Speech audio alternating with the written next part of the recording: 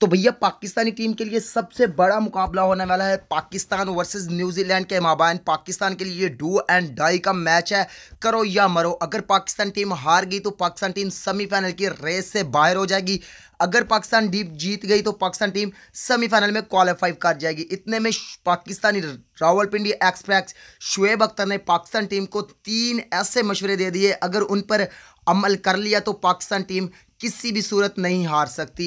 वालेकुम दोस्तों, मैं हूँ मुसैब अली और आप देख रहे हैं Musayyib sports YouTube channel.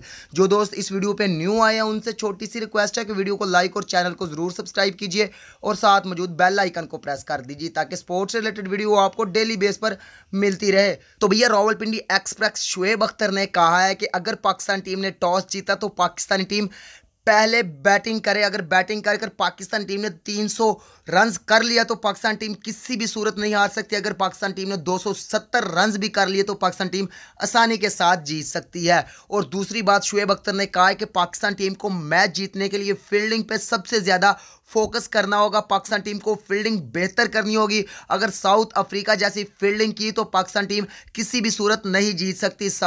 New Zealand की टीम को हम हल्के में नहीं ले सकते। न्यूजीलैंड की टीम को साउथ अफ्रीका जैसी टीम नहीं समझ सकते। साउथ अफ्रीका की वर्ल्ड कप में अच्छी परफॉर्मेंस नहीं थी, लेकिन न्यूजीलैंड इस वक्त वर्ल्ड कप में टॉप पर है और सबसे ज़्यादा अच्छी परफॉर्मेंस न्यूजीलैंड की है, इसलिए न्यूजीलैंड को हल्के में लेना गलत है।